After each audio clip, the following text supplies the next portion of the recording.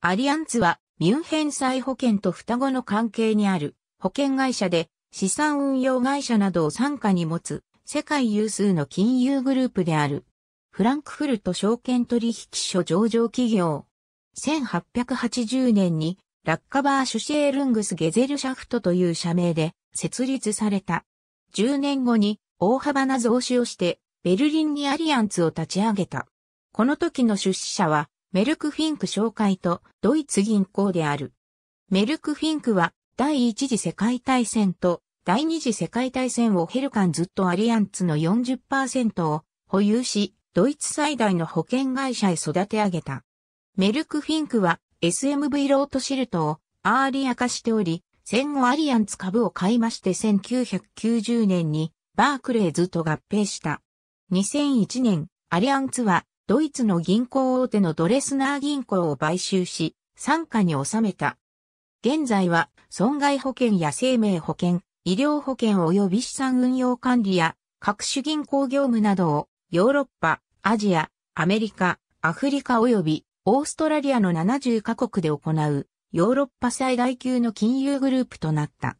2006年11月現在、アジア太平洋地域においては、日本やマレーシア、大韓民国や中華人民共和国など16カ国で各種金融事業を行っている。2008年にドレスナー銀行をコメルツ銀行に売却。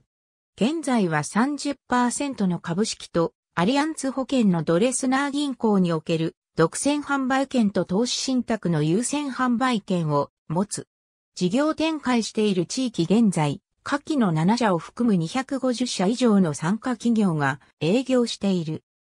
ヨーロッパの損害保険会社による日本法人第1号として1990年に東京都港区を本社に開業した法人向け専業のアリアンツ火災海上保険株式会社を中心に資産運用を扱う系列会社であるピムコジャパンリミテッドアリアンツグローバルインベスターズジャパン株式会社の日本法人や日本支店が営業している。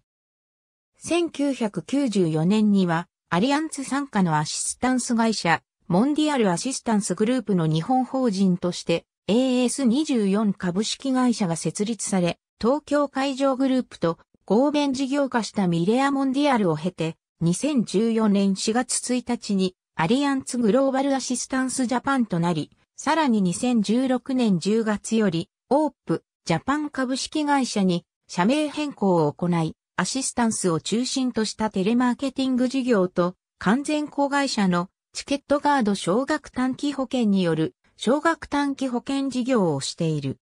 2008年3月7日には日本における生命保険事業の免許も取得し、2008年4月より個人向け営業を行うアリアンツ生命保険株式会社が営業を開始した。